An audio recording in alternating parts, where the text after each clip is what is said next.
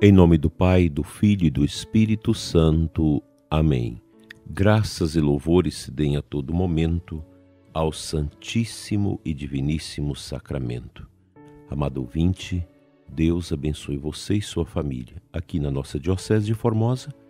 Igualmente, abençoa você e sua família que nos segue de outras localidades, que nos escuta em outras regiões do nosso país através das nossas mídias e também de emissoras que retransmitem o nosso programa graciosamente. Dando sequência à nossa meditação sobre a força do silêncio, hoje não podemos deixar de fazer a nossa visita ao Santíssimo Sacramento. Aqui na Catedral de Formosa, o Santíssimo estará exposto o dia todo na paróquia São Sebastião, na Formosinha, 24 horas. O Santíssimo está sempre exposto. Quero recomendar às pessoas para que façam adorações durante as madrugadas na paróquia São Sebastião. Muitas vezes fica uma pessoa, só o padre, na adoração na madrugada. Seria bom que as pessoas criassem esse hábito de ofertar a Deus um momento de adoração lá na paróquia São Sebastião durante as madrugadas, uma vez por semana, a cada 15 dias ou até mesmo uma vez por mês. Se todos fizerem esse compromisso, nós vamos ter uma presença da igreja diante de Jesus ressuscitado, presente na Eucaristia que será uma grande alavanca intercessora para o bem das famílias, para o bem da nossa pátria, para o bem de nossas liberdades. Os tempos exigem muita oração. Não é pouca. Nós precisamos orar muito, pois há muita injustiça, há muita perseguição, há muita tentação contra a fé, contra a igreja, contra o bem, contra a paz. O cardeal Sara nos ensina o seguinte, número 56 do livro: Concedamos bastante tempo a Deus, a oração e a adoração. Alimentemo-nos abundantemente e também incessantemente da palavra de Deus. Demora muito tempo para que o nosso coração, cuja dureza conhecemos, se abrande e se humilhe em contato com a hóstia e finalmente se impregne do amor de Deus. Não há nada menor, mais suave, mais silencioso do que Cristo presente na hóstia. Essa pequenina espécie de pão encarna a humildade e o perfeito silêncio de Deus, sua ternura e seu amor por nós. Se queremos crescer e ficar repletos do amor de Deus, devemos plantar a nossa vida sob três grandes realidades: a cruz, a Eucaristia e a Virgem. São esses os três mistérios que Deus concedeu ao mundo a fim de estruturar, fertilizar e santificar nossa vida interior e levar-nos a Jesus são esses os três mistérios que devemos contemplar no silêncio. Existem situações exteriores que devem favorecer o silêncio interior.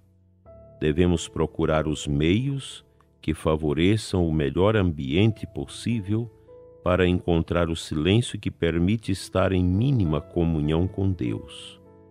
Cristo recomenda muito claramente essa busca de intimidade. Quando orares, entra em teu quarto, fecha a porta e ora ao teu Pai em segredo, e teu Pai que vê num lugar oculto recompensar-te-á. O quarto de que ele fala é precisamente nossa alma. Somos convidados a nela entrar para ficar a sós com Deus. Jesus mesmo não deixa de nos dar exemplo. Naqueles dias, ele retirou-se a uma montanha para rezar. passou aí toda a noite orando a Deus. Ele nos ensina, assim como as condições propícias para as orações em silêncio. Diante de Deus em silêncio, tornamo-nos mansos e humildes de coração. A mansidão e a humildade de Deus penetram em nós e travamos um verdadeiro colóquio com Ele. A humildade é condição e consequência do silêncio. O silêncio precisa de mansidão e humildade e também nos abre para essas duas qualidades. O mais humilde, o mais suave e o mais silencioso dos seres é Deus. O silêncio é o único meio de entrar no grande mistério de Deus.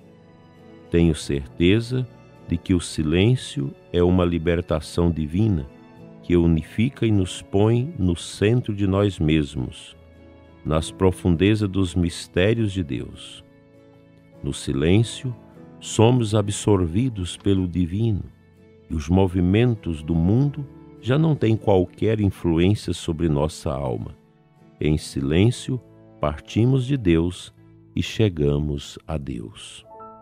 Uma mensagem muito bonita para esse nosso dia de adoração, em que nós devemos, diante do Senhor, apresentar toda a nossa situação humana, todas as nossas preocupações. Quanta necessidade de oração no nosso mundo. Nós agora acabamos de saber que um bispo da Igreja Católica, porque questionou o governo ditador comunista da Nicarágua, questionou o, abuso contra os direitos humanos, as prisões ilegais, as fraudes e tudo mais, foi condenado a mais de 20 anos de cárcere. Imagina? Claro que ele não vai ficar esse tanto de tempo, porque esse ditador vai morrer antes desse tempo. Todos os ditadores morrem. Todos morrem. Geralmente os ateus, esses inimigos de Deus, eles não pensam na morte, mas ela chega. E com ela chega também a justiça divina, pois uma pessoa que se diz cristã, que se diz católica, que impõe uma ditadura mortífera, uma, através de uma extrema esquerda que vai carcomendo as liberdades, esse tipo de gente termina muito mal o final da vida.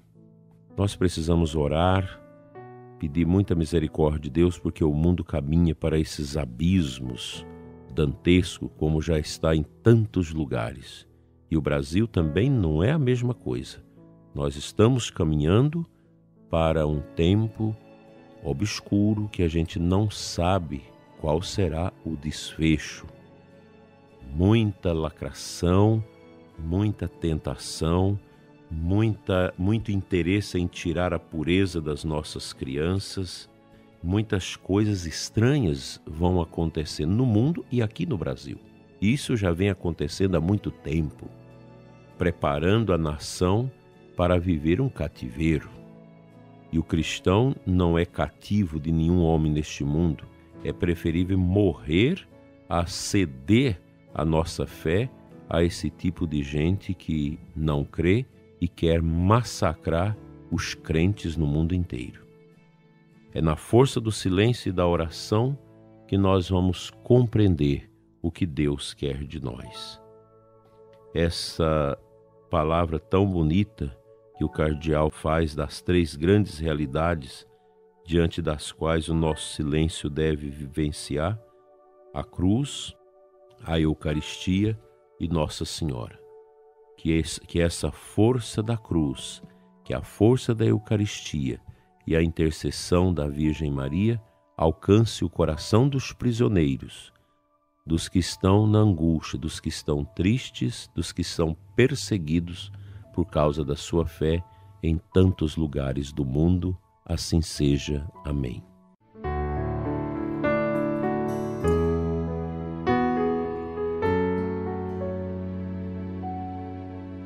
A antífona de aclamação ao Santo Evangelho da missa desta quinta-feira é extraída de João 6, 63 em diante. Senhor, tuas palavras são espírito, são vida, só tu tens palavras de vida eterna.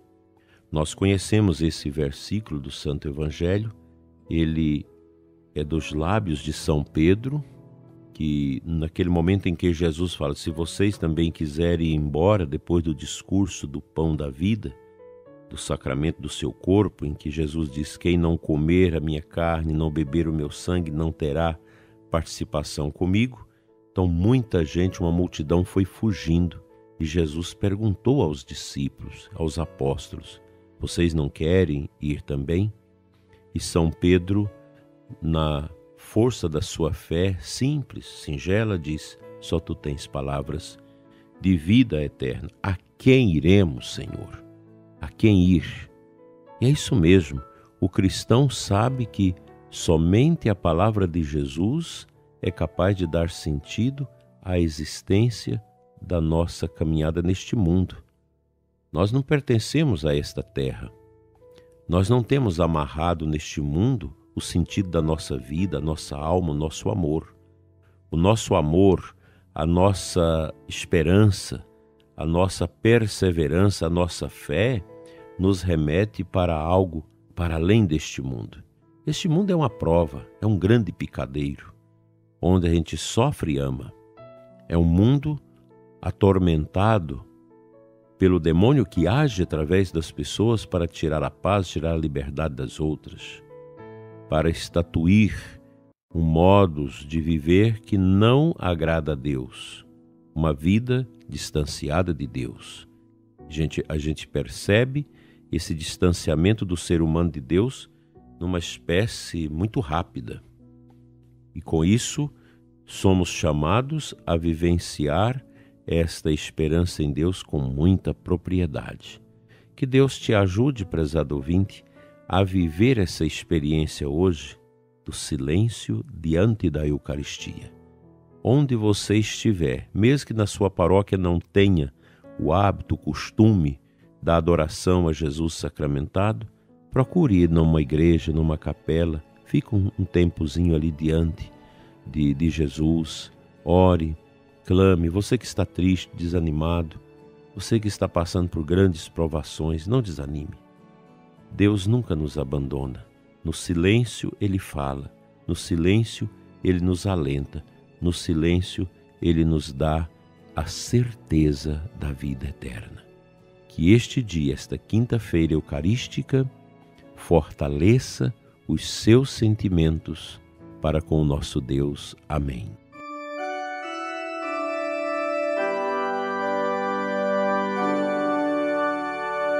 Pai Santo, Deus de amor, toca o coração do ouvinte que está sofrendo, que está necessitado de paz, de vitória, de cura, de restauração e liberdade. Toca, Senhor, os que estão encarcerados, tristes, abatidos e cansados pela injustiça. Cura, Senhor, o coração dos que têm a detenção do poder para que faça a justiça nesse país, para que não persiga os simples, os pobres, os que sofrem.